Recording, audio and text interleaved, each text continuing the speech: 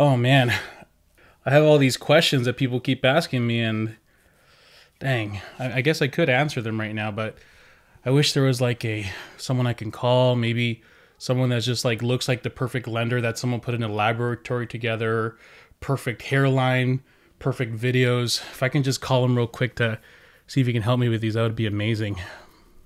Oh, oh, hey Kyle. Oh, I got a, I got a call from. Uh, can we do this later? Is that fine? Oh no. Okay. How's it going, man? Oh, was that real? I thought that was uh, the fake. Int- I thought you were actually getting a call in. You got me, dude. Your Oh, acting no. chops are, are premier. well, uh, I've for been everybody, practicing. so this, hi everybody. So this is Javier Vidana, and of course, I have my friend here, Kyle Seagraves, is with me. And today, what we're gonna do is, uh, since we're doing a video together, we're gonna talk about the five most basic, commonly asked questions that we receive probably on a daily basis. Now, I figured for anybody looking to start their home buying journey, it'd be nice to hear from both of our perspectives what we think about the general questions that they may have, because it is usually a starting point for most people, right? Let me start off with an easy one, okay? A multi-layered question, but I think something you might get a lot. You know, everybody knows at this point if they start researching FHA and convention or the two main ones, maybe uh, maybe USDA or VA if you're in a particular area or kind of person. But there's always these like first time home buyer grant programs or like this NACA, the nonprofit loans, the portfolio loans that are like super special. So for someone who's looking to buy, how would they start researching these and should they go for these kind of programs or just stick with the classics? Right. I think what ends up happening is these terms, especially first time homebuyer, tends to be a, a marketing term that a lot of companies use.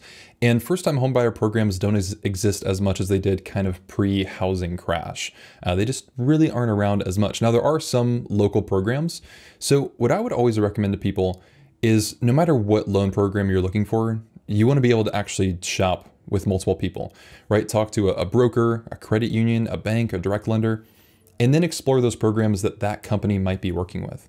Because what a lot of people don't realize is companies themselves are the ones who work with these local programs. If you are looking for, for instance, a local down payment assistance program, or for instance, California has um, their housing finance agency has a down payment assistance program, but they're going to work with specific lenders. Uh, so it's not a program you have to find on your own and find a lender.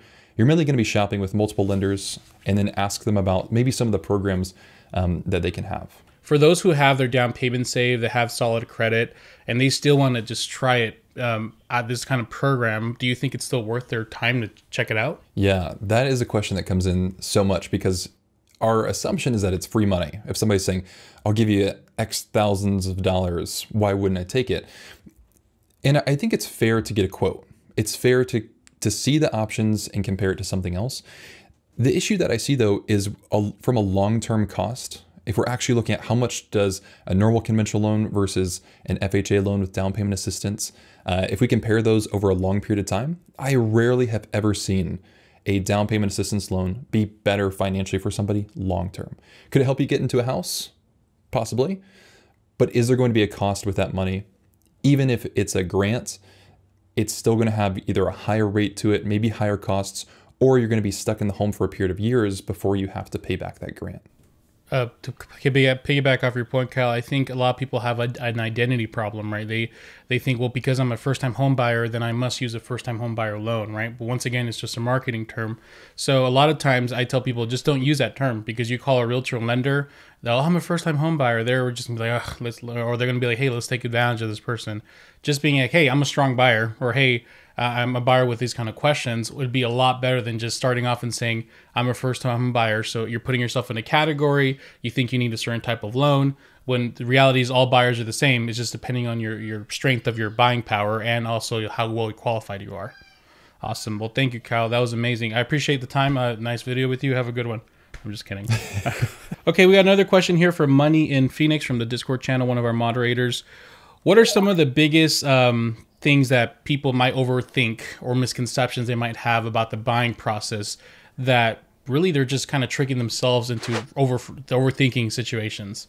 Uh, yeah, the overthinking problem is huge. And what's funny is you, there's a lot of YouTube comments that come in, and I find myself the the best answer that I can provide is just a yep, yep, that works, that's fine, that's okay. I think we tend to overthink our financial situation just a little bit. Where a lender's going, going to document and look at a lot of things, But for the most part, they're not necessarily looking at this to um, try to find reasons on why we can't qualify for a loan. And so, especially when it comes to maybe some more new, unique financial situations, um, we can tend to overthink it to the point of saying like is it okay am i still going to qualify with this for the most part if you're following some of the general guidance that like on javier's videos or some of my videos talking about things like credit score debt to income ratio how much money do we have in the bank account those are going to be the main things that help us qualify for a loan so we can get into a home.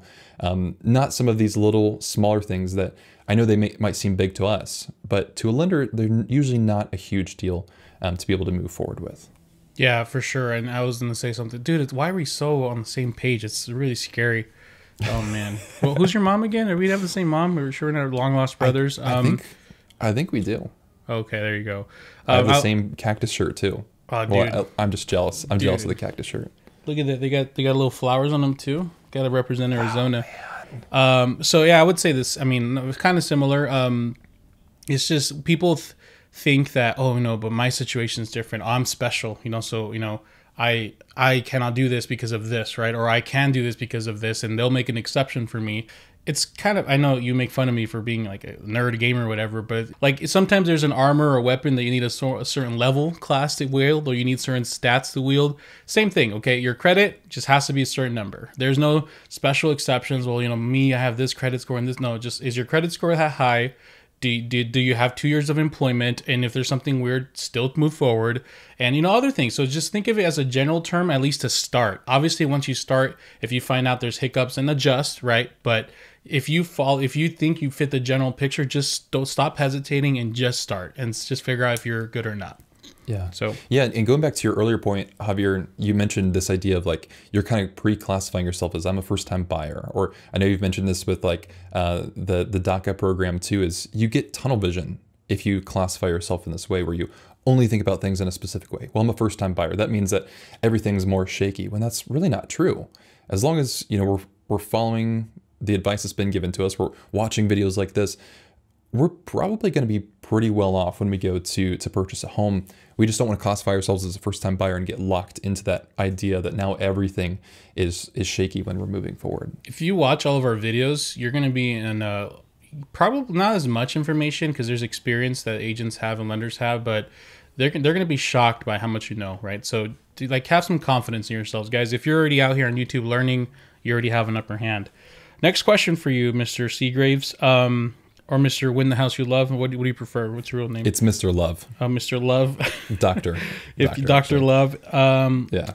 A little longer question. Um, what's you, are you seeing some indicators on the lending side on a maybe some kind of shifts going on, like volumes of closings, appraisals coming in lower, uh, a certain type of loan being preferred? Uh, you know, just just some general things that kind of just stand out to you. Sure. Yeah, for the most part, in how competitive this market is, the one of the biggest problems that people are facing is the type of loan that they're using. Um, so, you know, if we're going from like a ranking list of what loans are the best, for the most part, conventional loans are going to be at the top of the list. And that's not from which loan is best necessarily for the buyer. It's more of how does the seller perceive it. So the seller perceives somebody with a conventional loan being somebody who has their finances ready to go and is able to purchase. Normally is more seen as somebody who's more well qualified. Unfortunately, even though that's not necessarily true, where loans like FHA, USDA, and especially VA tend to get discriminated against a little bit because the assumption is, well, they can't qualify for conventional, so they're probably not as well qualified as a buyer, meaning that deal might not go through. That's kind of what a seller tends to think. And so normally that's one of the hardest parts that I'm seeing in this market is, um, you know, here in Dayton, Ohio, we have a really strong FHA market. A lot of buyers use FHA because that's what they need to qualify for, and they ask for closing costs, and they're not able to get their offer to go through because they're using FHA. So with that, normally what I would recommend for somebody is talking to your lender. If you qualify for FHA um, or these other government programs, asking what can I do to qualify conventional we normally don't ask that question, and the lender just assumes that we don't have the patience for the next three to six months for whatever it would take for us to transition to conventional.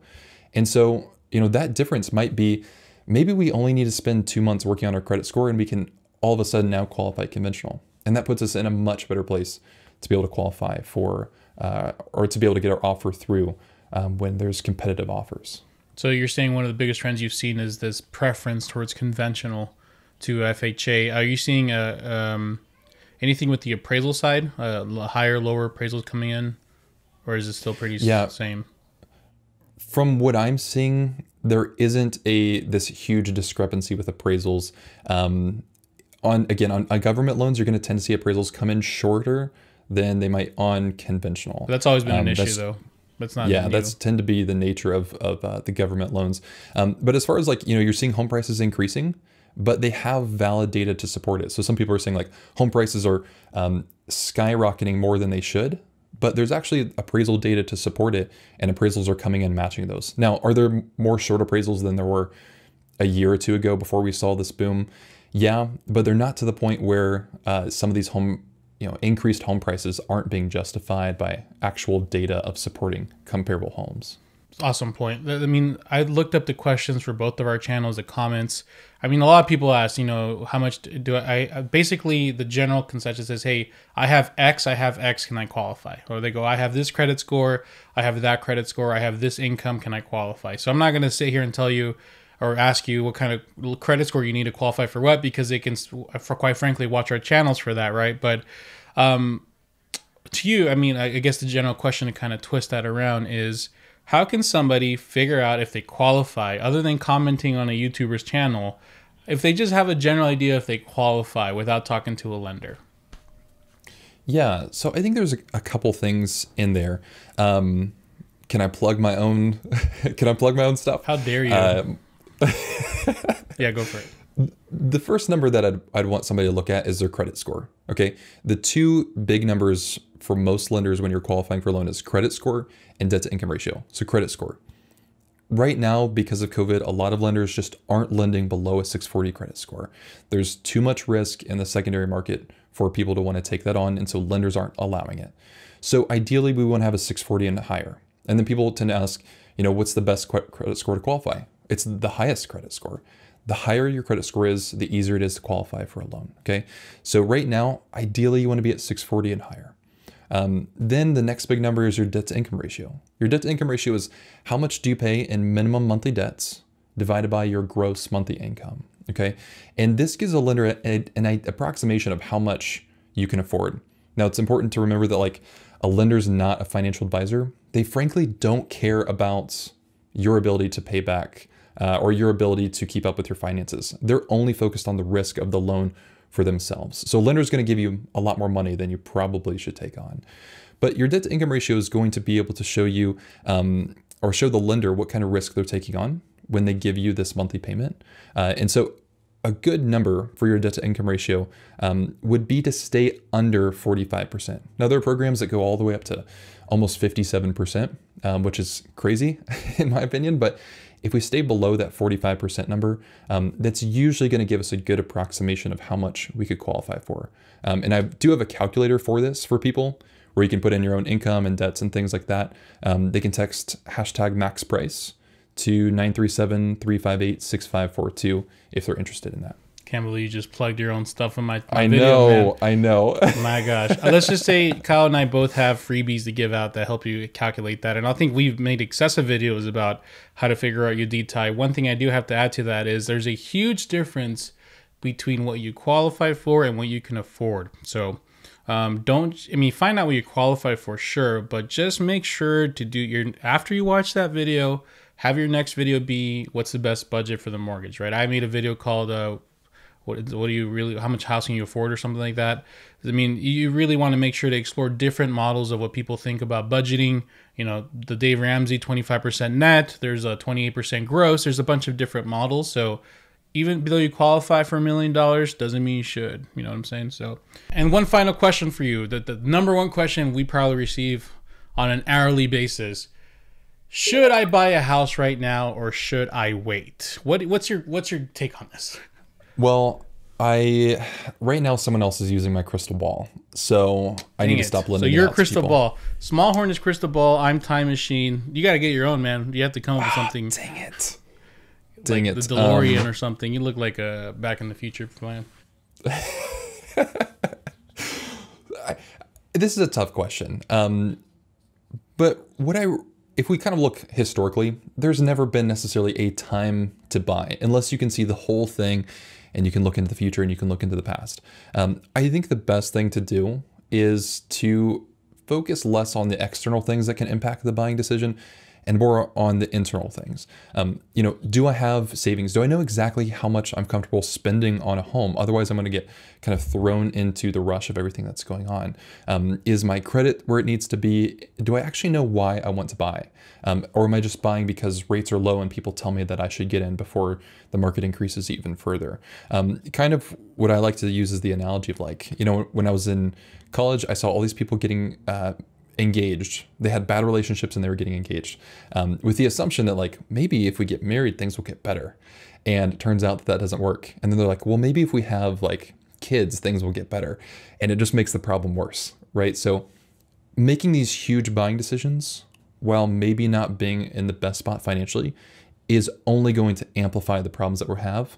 Um, is not actually going to do anything to make us feel more confident or set us up better financially in the future. Man, I don't know we are going to give relationship advice here, but I like it. I know, right? Um, you like that? Yeah, my, it's it's never been the right time to buy for people. You know, if years ago, people would say it's not the good time to buy. So have solace in knowing that no one is ever comfortable in the time they're buying. No one ever is. Like literally five years ago, when it was a perfect time to buy, people were freaking out. So you're always going to have these nerves. It's always going to be this fear. So at the end of the day, you evaluate your personal situation. Are you strong enough financially and mentally right now to take on the challenge of buying a house? And are you buying long term? If all these things are yes, then consider it. Go through your options. Make sure to, you know, pros and cons it. You know, don't listen to all those guys on conspiracy theories on YouTubers telling you, oh, yes, uh, the government this, the government that, and all this. You know, um, they always have American flag as their profile picture too. Um, yeah, you know, just just make your own decision. You're smart. You're, you're capable. So, Kyle, thank you so much for that. Uh, yeah, thank you so much for that, man. Um, so now, um, one of the other common questions we get is, how do I compete against cash offers? Right. So here's what we're gonna do. You have a video for Storm Store for us about comparing different offers. So what do you have? What, what is this video going to be about exactly? Yeah, so we're kind of going to get into the mind of a seller a little bit. Normally as buyers, we're kind of shielded from that side. So we're going to pull back the curtain and see what does a seller actually see when offers come in? And then I'm going to have you give some advice on what offers look the strongest to you and then what you would suggest to a buyer to beat out uh, some of those offers in there as well. Thank you guys for watching. Go check out Kyle's video now, which should have been posted the same exact time as mine. It'll be popping up on my face now. Go check it out after watching this video, and then so you can get the best out of both worlds. So, Kyle, thanks once again for being on the channel. I'm always the number one seed graver. No matter what anyone says, I will always be number one seed graver. So, thank you for stopping by. I'll see you on your thanks, channel. Javier. All right. Awesome. Barely, right on time. Ooh.